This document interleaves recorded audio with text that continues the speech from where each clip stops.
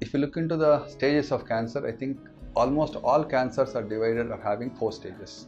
That is first stage, second stage, third stage, and fourth stage. So as the number increases, the advanced stage of the cancer also increases. So the first stage is a stage where the cancer is very early, and that is a stage where very few people can actually detect these cancers in that stage because the symptoms pertaining to cancer in that stage are very less. So only awareness can help to detect these cancers in this uh, stage or active participation in screening programs can help to detect these cancers in this early stage. The next stage is a second cancer. So second stage cancer is almost there in most of the cancers except for uh, thyroid cancers where most of the stages are in they're only divided into two stages. So most of the cancers also have a second stage wherein it is neither too early or too advanced.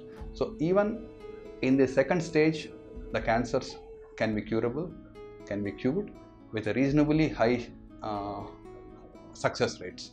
So in the second stage the body definitely shows certain symptoms which I think the patient and the doctors should be very vigilant in watching out or hearing these symptoms when they come and tell it to the doctors.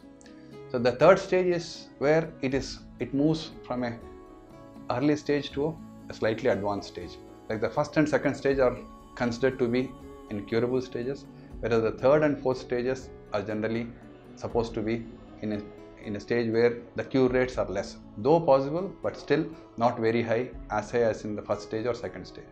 So there's the, in the third stage, the cure rates fall down to an extent where the cancer, apart from being limited to the organ, spreads to the surrounding lymph nodes or surrounding structures. Like most of the times, it is spread to the lymph nodes, which make it a stage 3 cancer. So here, the cure rates may not be as high as in stage 1 or stage 2, like what we said 90% or 70%. The, in spite of treatment in stage 3, the cure rates drop down to 40 to 50%. That is in general. There are certain cancers where even in stage 3, like uh, testicular cancers, where the cure rates are high. Or in papillary, in the thyroid cancers or well differentiated thyroid cancer, the cure rates are high. But in general, most of these cancers in stage 3 have a cure rates of about 40 to 50% or 30 to 50%. When it comes to the last stage in cancer, which is the most deadly stage, that is the fourth stage.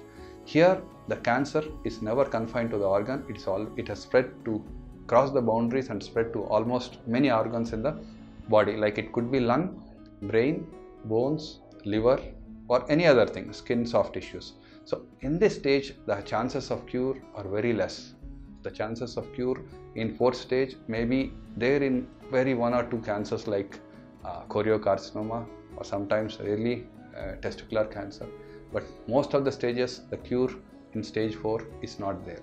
So, all we need to be aware is that you know the higher the stage, the lesser are the chances of cure in cancer.